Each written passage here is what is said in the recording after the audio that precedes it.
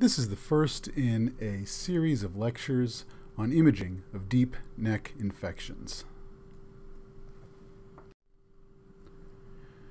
The clinicians are particularly interested in several items when they order an examination of the neck to assess for infection. The most important things that the radiologist needs to comment upon are the source of infection, the presence or absence of abscess, because that determines whether the patient will go to surgery or not, the extent of the disease, which determines how much surgery the patient gets, and of course complications of deep space infections, which we will talk about in detail. So let's start with sources of infection. It's important to identify sources of infection because if you don't deal with the source of the infection, then even if you treat the infection, it will return at a later date.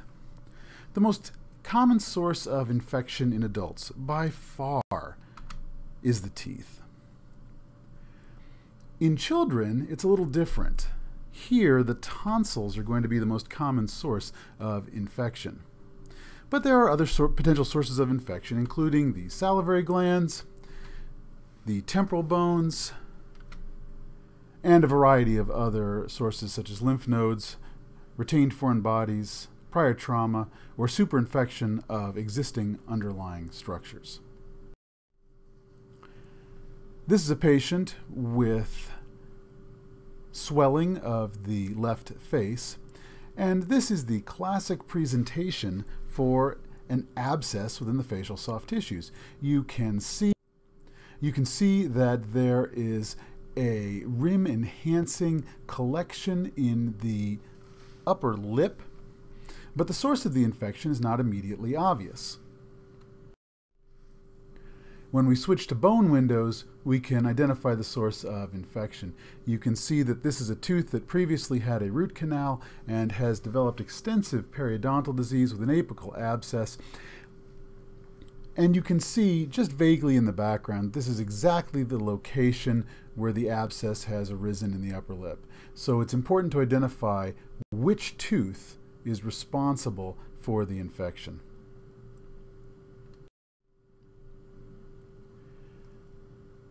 Here's another situation where we have an abscess, this time on the lingual surface of the mandible, whereas last time it was on the buccal surface. Here we are on the lingual surface of the mandible, and you can see that there is a small amount of gas within this abscess indicating anaerobic infection. You can see extensive inflammation of the surrounding soft tissues, and in fact this abscess runs along the entire lingual surface of the body of the mandible.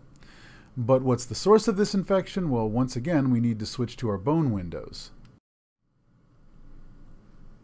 On the bone windows, we can see that there is a large cavity in this third molar wisdom tooth of the mandible, and you can even see a small focus of cortical breakthrough from the apex of this tooth out into the soft tissues. So here, the wisdom tooth of the right mandible is the source of infection. This drawing summarizes the different directions of spread for the teeth. We've talked about how this is the most common source of infection in adults, and you can see from this diagram just how the teeth can infect all different parts of the face and down into the neck.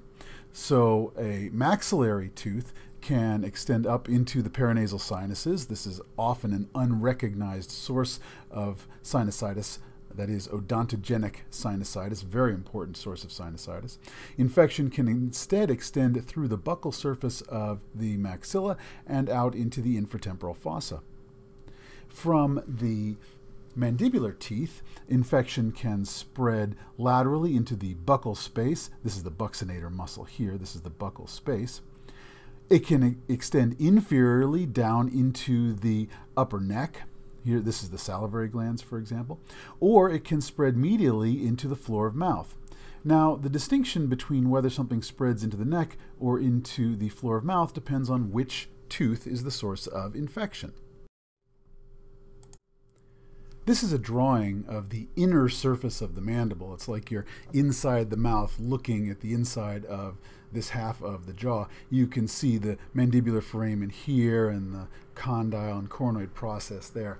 The purpose of this drawing is to show how different types of teeth spread infection to different areas in the floor of mouth or in the upper neck.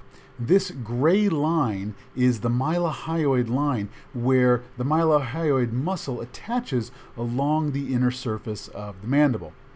The anterior teeth, by which I mean the first molar on forward, the anterior teeth have roots that extend only down to the floor of mouth, above the mylohyoid line. So when infection from the anterior teeth breaks through the lingual surface the lingual cortex of the mandible, the infection ends up here in the floor of mouth. However, for posterior teeth, by which I mean the second and third molars, here the roots extend below the mylohyoid line. So if you have an apical abscess and it breaks through the cortex, it will end up in the upper neck, below the, the mylohyoid line in the upper neck, and your infection will be somewhere around the submandibular glands.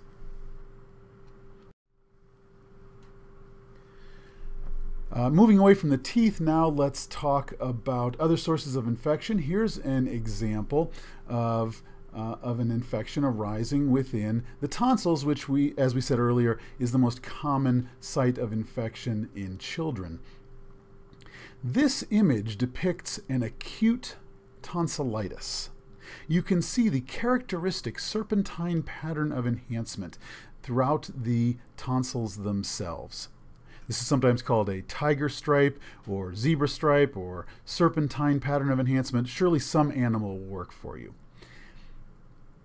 Now, this is not something that we commonly see in patients with peritonsillar abscess. This is the findings for acute tonsillitis. In order to understand this pattern and to understand some of the complications of tonsillitis, we need to understand a little bit about the anatomy of the tonsil.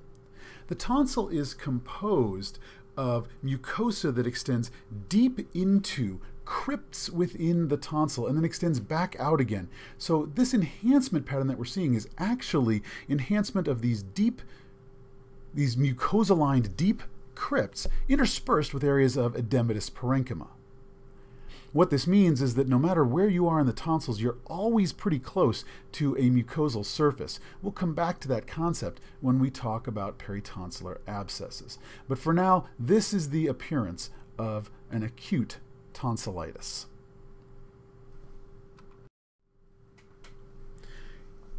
Here's another potential source of infection. The salivary glands themselves can be either involved secondarily from an infection nearby or can be a primary source of infection. This is particularly the case when the gland is obstructed, as with a calculus, but can also be direct infection of the gland, as from a viral infection, the best known viral infection of the submandibular glands and parotid glands is mumps. You can see in this case that the involved submandibular gland is enlarged, there's abnormal enhancement, there's thickening of the overlying platysma muscle, and there's infiltration of the surrounding fat. That helps us to distinguish this as an infection rather than a tumor of the gland.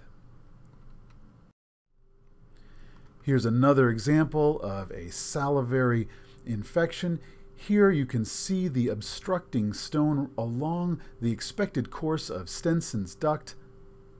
And you can see that behind the stone, Stenson's duct has enlarged and there's an enhancing rim and it has become abscessed. So we have an abscess of Stenson's duct. We have an extensive parotitis that results, and it's all the fault of this obstructing stone. This ends part one of the lecture on infections. We will continue with sources of infection in part two.